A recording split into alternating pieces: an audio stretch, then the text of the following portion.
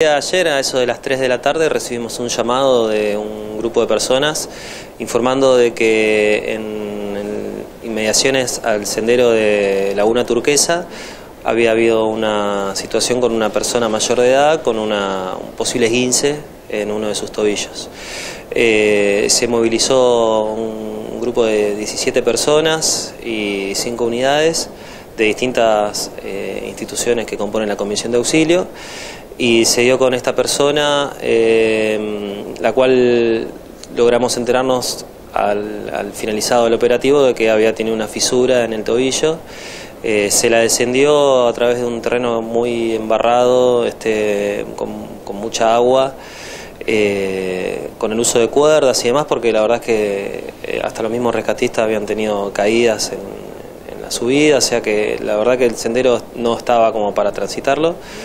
Eh, y se trasladó, se lo acompañó hacia, hacia el hospital en donde, bueno, después se determinó ya mediante el uso de radiografías y demás cuál había sido la lesión de por sí. En las fotografías que se, se pudieron ver, eh, bueno, se ve que, que este hombre tenía un calzado bajo, ¿no?, para circular en esta zona. Sí, la realidad es que era un turista de Buenos Aires y no fue asesorado bien por por la empresa a la que alquiló el vehículo o por quien haya sido que, le dijo que se vaya para ese lugar. Cuando llegamos a, hicimos contacto con la persona, él mismo se encontraba con un chaleco y una remera en mangas cortas y es lo único que tenía.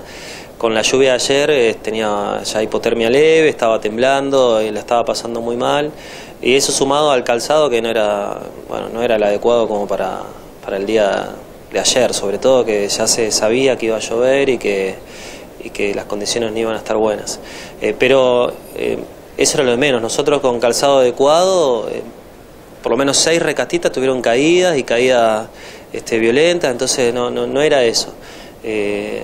sí, la falta de, asesoramiento en cuanto a la vestimenta, que te digo, estaba con un chaleco y una, remena, una remerita manga corta y nada más, y bueno, esto también este, vio perjudicado ¿no? a la situación.